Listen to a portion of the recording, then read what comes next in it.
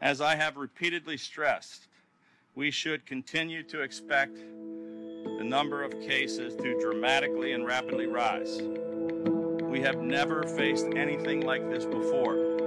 This is going to be much harder, take much longer, and be much worse than almost anyone is currently understanding. When you have restaurants indoors in a situation where you have a high degree of infection in the community, you're not wearing masks, that's a problem. National Restaurant Association estimates about a quarter of all restaurants to close as a result of this pandemic. Coronavirus is on the rise and their businesses are on the line. We're probably looking at some days of no income, no revenue. For the smaller restaurants and the independents, they measure their cash flow in days, maybe weeks. This is not something that's sustainable for them anytime soon. I have just enacted an executive order to shut down all bars, restaurants, movie theaters, and gyms across the state, effective at 5 p.m. today.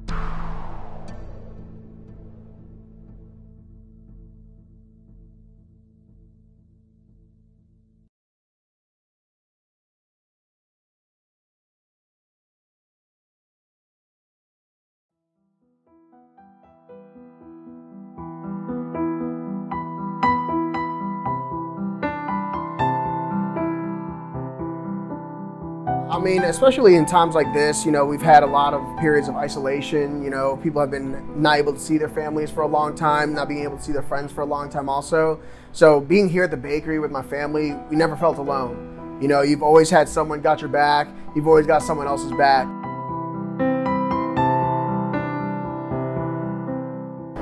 You know, it's just like you'd be able to like be a part of someone's life for a short period of time. You know, able to help them and start a conversation. It's just like great. It's a great feeling because everyone comes in happy because they're delighted, you know, to see us and to get something nice to eat. You know.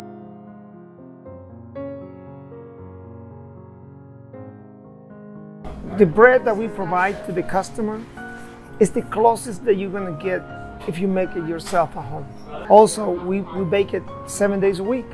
So every day that you come here, your bread that you're getting is fresh.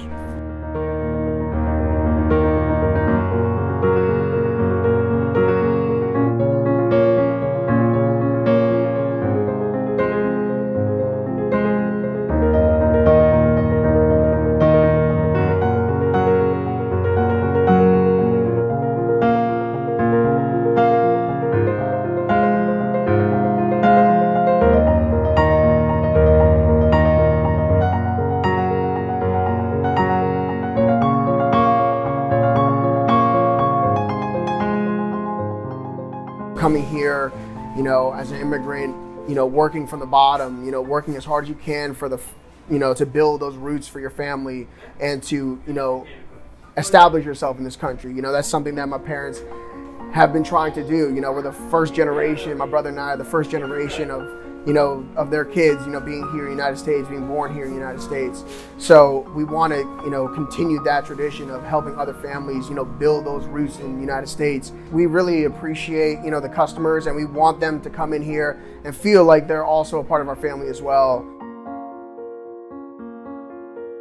It get to the point that the customer counts for for her or for him.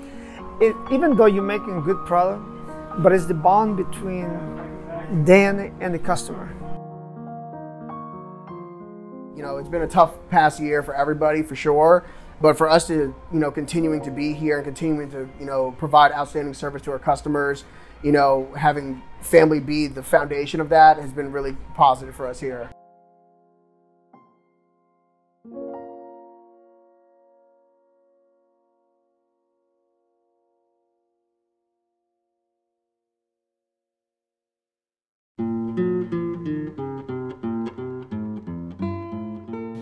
Bracita se empezó después de tener 15 años de, ya de experiencia en la brasa.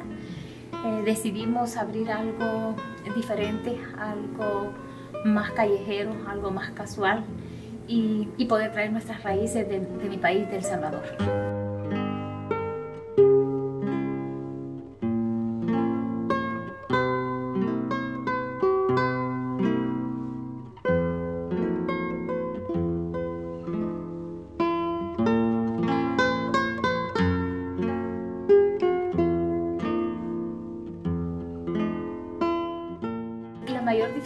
De abrir, de abrir la Brasita fue pues el confinamiento total, la pandemia. Started when I was 13, working as a busboy, and then bumped up to a server. That was at high school. I was a server. Oh, here's just so much fun. Not that La Brasa wasn't fun. That was more like high or my my college. Yeah. Now this is me. This is this is my jungle. This is my my turf.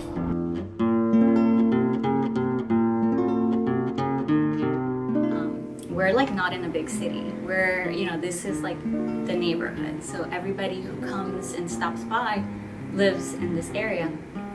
And so like after like a certain period of time, you sort of um you get to know everybody, you get to know the locals and you know they're super supportive, super loyal, like it's very cool uh, to like see people come in and you just kind of like are on the first name basis and um you know, like just being able to like be part of like the community and like be part of these people's lives. Like, you know, they come here to celebrate like their birthdays, you know, their graduations. I had this little girl sit outside, um, who I think she was graduating fifth grade.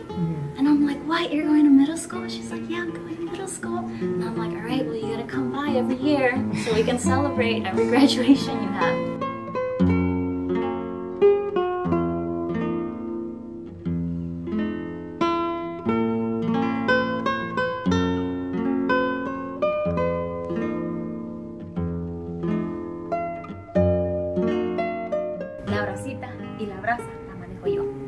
Entonces yo soy la que estoy moviendo ese equipo.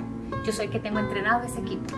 Todos con guantes, todos con redecillas, eh, eh, eh, todo, todo bien hecho. Eh, yo les digo, denle de comer. El- la filosofía mía es, hagan la comida, que hoy viene su familia a comer.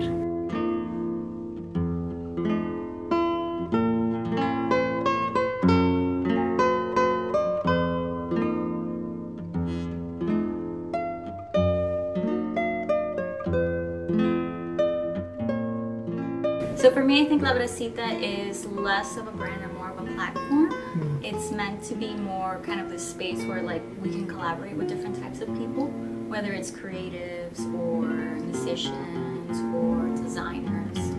You always want to sort of, if you're going to spend your money, you want to spend it within your community.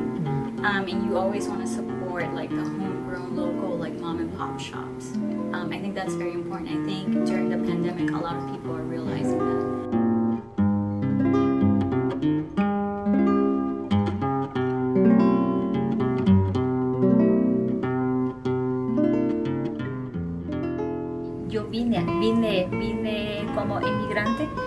Estados Unidos y, y vine a, a un propósito.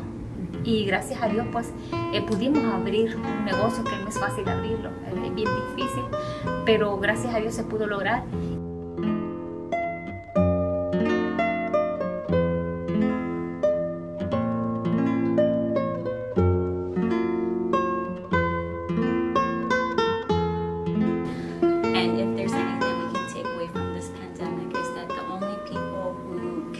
Like, the only people who will support us is us. You know, it's like us supporting one another.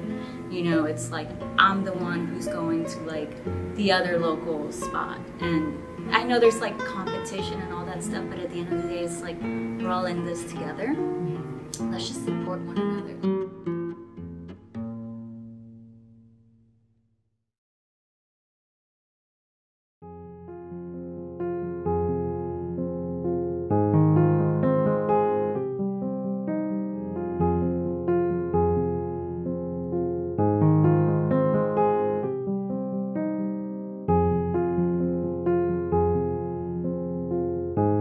I think for me it comes from my mother. Because my mother, she she cooked. She cooked good. I love to cook to, to her. And then my wife, 16 years ago when we married, uh, my wife has always been a lady, a go-getter. You know, she's uh, hands-on. She's a fighter. But we started from our homes like seven years ago.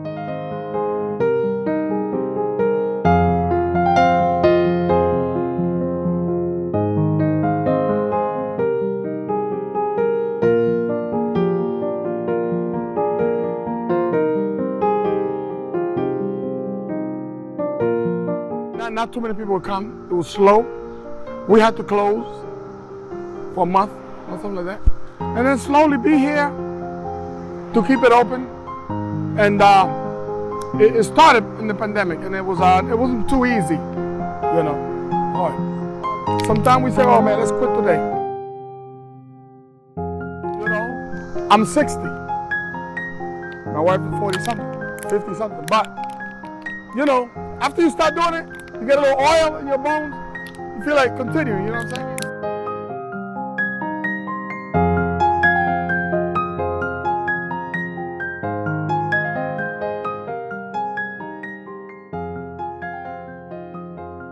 Uh, number one, uh, go. Anybody come here, we take care of them. Rich or poor, whatever. Doesn't matter to us. Many times if you're hungry, I ain't got no food, take it. Just like that. And you know what? We're not, we're not hungry for money. You work for money, but we're not gonna let nobody go hungry.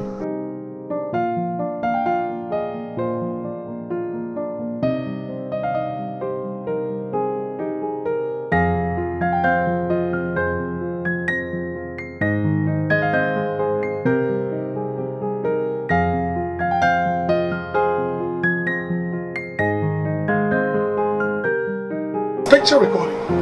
Recording. Okay, on three, right? Yeah. Two, two, three. So, Mangu Delight welcomes Gabby and Jeremiah.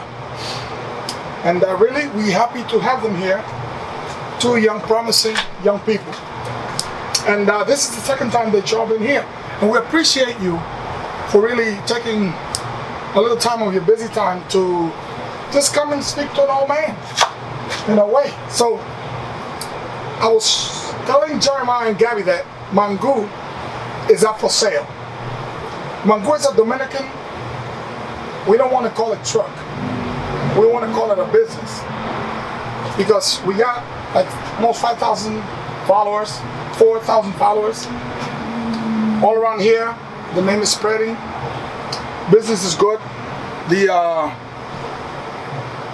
the customer service, the customers just love us and we love them. So we want to sell it because, not because of anything, it's just that, you know, uh, I'm older, my wife and I maybe started a little old, and uh, not too old. We still got some strong dukes. But at the same time, we are pastors and we want to dedicate more time to the work of the Lord. And that's very important to us. That's number one in our lives. Work of the Lord. That's number one. And number two, number three. Mangu is number four. Which we love it. Is a great passion of us, of ours. It, it hurts us and we're feeling real bad. Our daughters and our son are feeling bad, sad that uh, we have to do this, but we have to do it. And we're looking for a nice potential buyer that can continue with the name. We don't want to sell the truck. We want to sell the business with the name and everything. Somebody that knows Dominican food and know our flavors. So we really want to do that, and we want to thank all our beautiful customers from the bottom of our heart. And I hope that somebody see this video that future producer, director, movie writer Jeremiah and Gabby are taking. So we want to thank you very much, and uh, we appreciate all of our customers.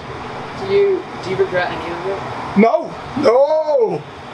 We have met so many people here. So many people that we love, they love us. You know, some a little semi-celebrity, radio celebrity, and so forth and so on. TV, news, anchor celebrity, lawyers, newspaper people. So, and now we're meeting, number one, Jeremiah and Gabby, and Gabby.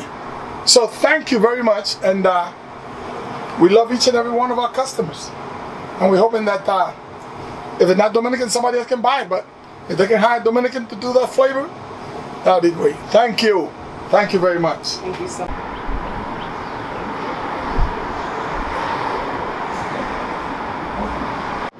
All right, so like, what does this place mean to you? Like, how how is this place being built um, a testament to all the hard work that you've had to do in your life?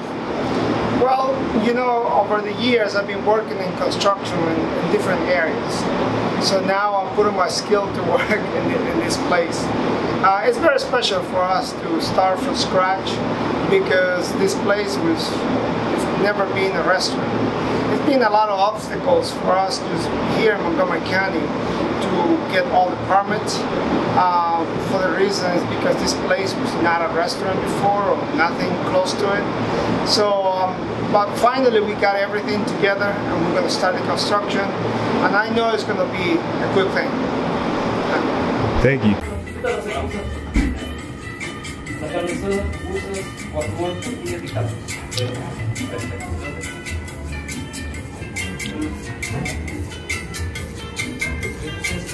Muchas 哎，